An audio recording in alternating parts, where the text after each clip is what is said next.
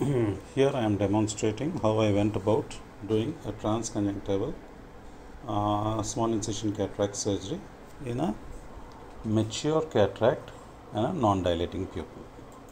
So initially I am placing my incision through the conjunctiva with the sharp end of my crescent blade making a frown incision. It's about one third to half thickness of the sclera.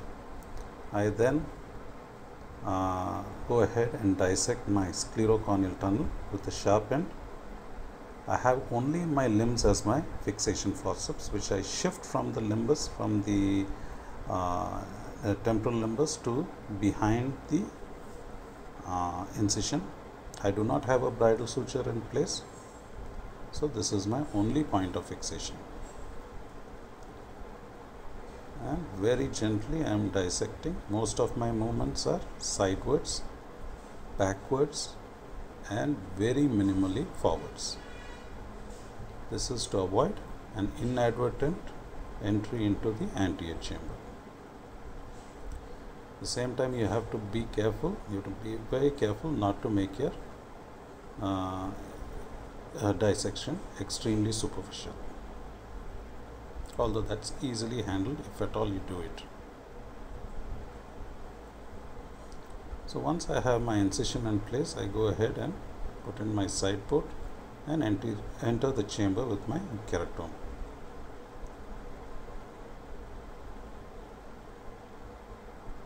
I then stain the capsule and bring out all the stain as well as the air with HPMC and with my cystitome I am creating a rhexis within the margins of this pupil as much as it will allow me and obviously this is not going to be enough for nucleus expression.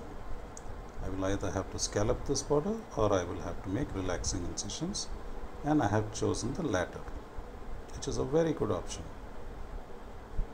So the way to do it just push away the iris, identify the rhexis margin and make your relaxing incision. I always make try to make 4 and make sure it is cut.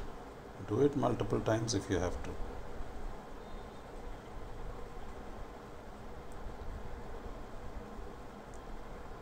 Just moving away that flap.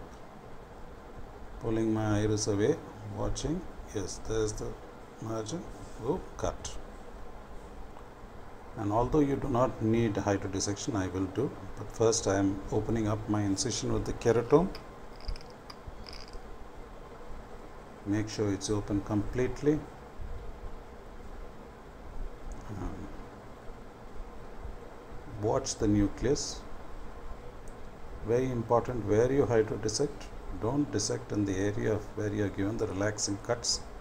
Try to go in between those.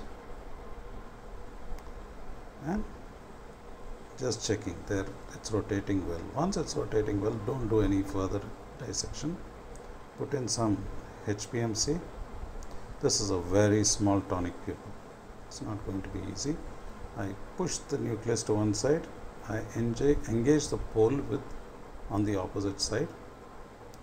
And bring it out. And with a cartwheel like motion I'm using just one uh, Sinskey hook. I'm trying to rotate it but half of it is still below the pupil. So don't go on doing this. Put in some HPMC see what you're doing. Try to get out all the free cortex that is obscuring your view or push it away and once you can identify the pole it's much easier. And now I'm using both the Sinskey hooks and rotating it out into the chamber. There it's come out of the chamber. Now watch very carefully how I put my HPMC I put over a little bit put it at the sides put it under also and something at the inferior part also. Now the nucleus is slightly tilted to give access is giving there is a space between the endothelium and the nucleus and the space between the posterior part of the nucleus and the iris. So yeah vectis can neatly go underneath and bring it out very safely. Vectis you know if you are not careful you can land up with the iridodialysis so you have to be careful and when you are doing the cortical aspiration first aspirate all the free cortex that is in your way. Try to move the pupil away look where the cortex is okay and then go with your port facing up. And always bring out the cortex to the pupillary area and aspirate. Once you have done that put in HPMC and I am putting my single piece PMMA lens hopefully into the bag but many times they just go into the sulcus which doesn't matter I then conclude by aspirating the HPMC, hydrating the wounds and performing the bounce test. Thank you for watching.